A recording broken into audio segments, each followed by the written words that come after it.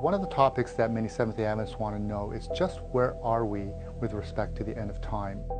There's an economic framework that's been most helpful for me to visualize the relationship between finance and the things to come in the future. It's a theory called the Kondratiev wave.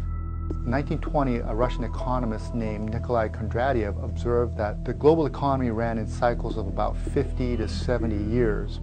There was a growth phase, which is called spring and summer, and then there was a plateauing of the global economy, autumn, followed by economic winter.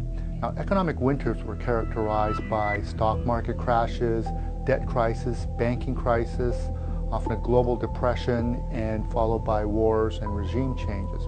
As we look at these Kondratiev waves over the past 200 years and compare that against prophetic events, very interesting patterns appear. Perhaps one of the most prominent things that occurred was in the year 1844, the end of one of these economic winters. William Miller had been preaching about the second coming of Christ to take place in 1844, and this coincided with that economic winter. Miller's success in preaching about the second coming of Christ may have been helped by the economic conditions of the time.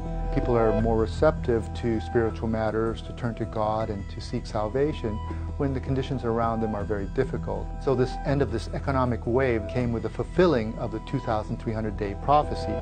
Now, the previous wave ended in the year 1789.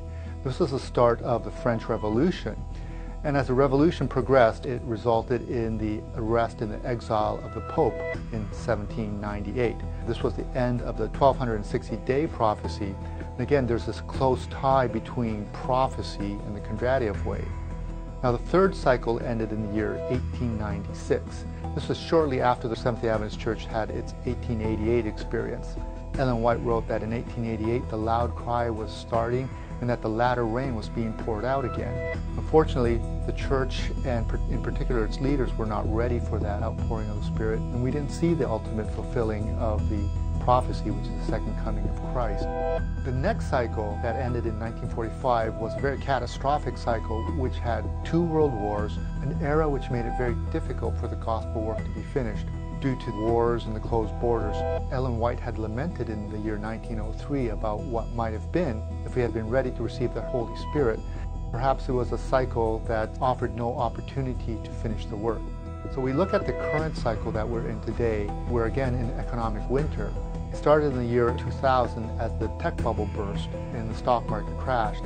Since then, governments and central banks have taken extraordinary measures to try and fix the world economy but their efforts have really only resulted in making things worse.